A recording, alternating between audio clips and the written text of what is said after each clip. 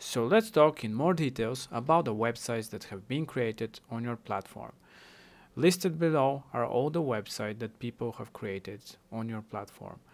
You can see them listed from top to bottom uh, and by clicking on the name you can preview the website.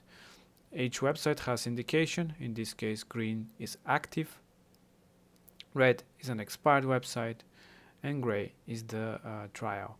You can see that they created the website name and the plan they're currently on, as well as all the websites that have been created on your platform.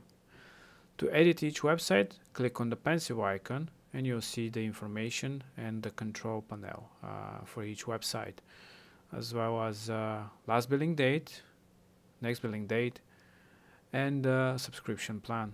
If you click on change, there is this message where it says that this website is currently active by a subscription.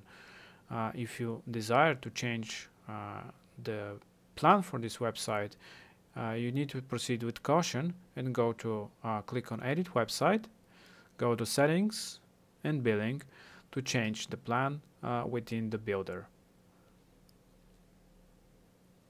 Now let's find a website that is actually in trial. Click on the pencil icon and you'll see that they don't have a last or next billing date obviously. By clicking on the drop down you will see all the plans that you currently can select. Uh, let's pick personal monthly and click apply. A message will show uh, that this will be the amount uh, that we are going to charge you uh, in your weekly cycle. This amount, this payment will be added to your payments uh, section. Keep in mind that monthly fees are not refundable and yearly fees uh, are refundable only within 14 days. After that, they're also non-refundable. Once you click on yes, your website becomes active with last billing date today and next billing date a month from now. Uh, change it to expired by clicking on expired, apply, and it's already uh, expired uh, website.